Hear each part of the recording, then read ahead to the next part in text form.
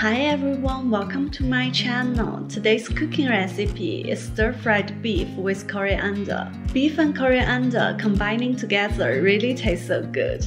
You should give it a try. So now let's start cooking. We first need to cut the beef into thin slices.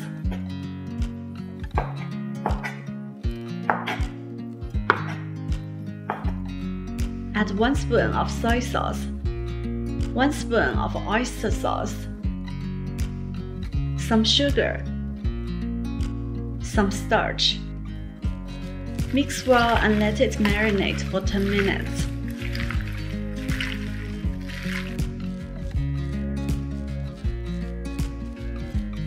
Now prepare the pan and add some cooking oil to it.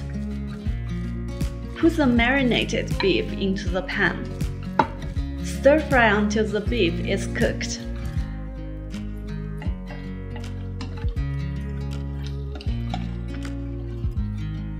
Turn off the heat and take the beef out from the pan. Now cut some red chilies. Might some garlic and ginger.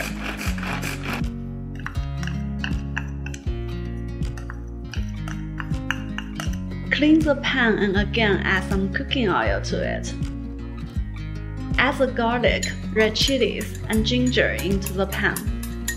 Stir fry until you can smell the flavor of garlic. Then put the beef back into the pan. Mix well. Now we can make the sauce. We need a little salt, 1 spoon of soy sauce, 1 spoon of cooking wine, 1 spoon of dark soy sauce. Mix well and pour the sauce into the pan.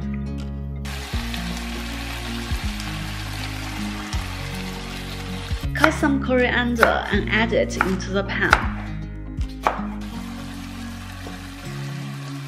Mix well and turn off the heat.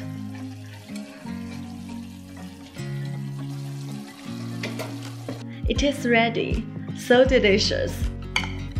This is today's cooking recipe. If you like it, please click the like button and subscribe to my channel. Thanks a lot and I'll see you guys soon.